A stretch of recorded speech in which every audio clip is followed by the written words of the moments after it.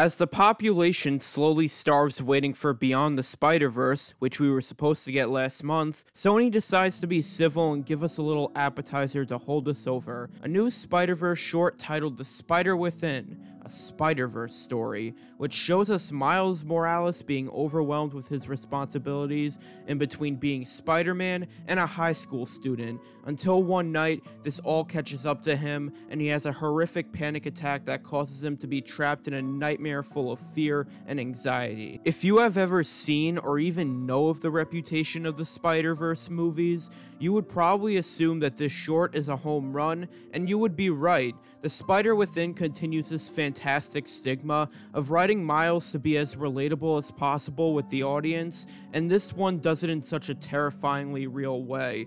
Now, I do wish this short was like a minute or two longer to feel 100% fleshed out for me, but I still feel like they nail everything they can within the span of 7 minutes.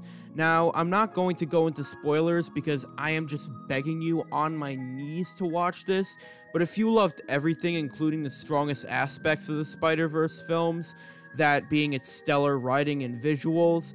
Good news, because this short has all that right here in an incredible horror fashion. The visions and hallucinations Miles has here are easily some of the creepiest and one of the most haunting images anyone who has experienced sleep paralysis or anxiety under a bad condition can have, and the first image he sees is only the tip of the iceberg as it slowly starts to transform into something more terrifying as his this anxiety attack continues, to the point where he is almost swallowed whole by this, and it is undoubtedly one of the most unsettling and terrifying moments in the entire Spider Man franchise. Once again, I'm not going to get into spoilers, but the only other character in this short besides Miles is his dad, and he is portrayed as someone who is a little stern at times, but is always there for his son no matter the circumstances. This short film is a near perfect representation of how being overwhelmed can lead to horrific results, especially for teens and young adults.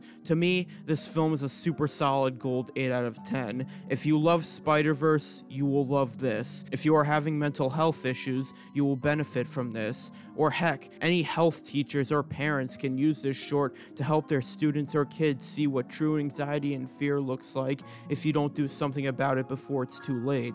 In other words, this is a short film you need to experience, and you could find it on YouTube, and a link in the description is in this video right here, so don't be afraid to spare 7 minutes of your time to experience this masterpiece. As always, thank you so much for sparing your time to watch my work. Be sure to take care of your mental health and keep calm and let life carry you on.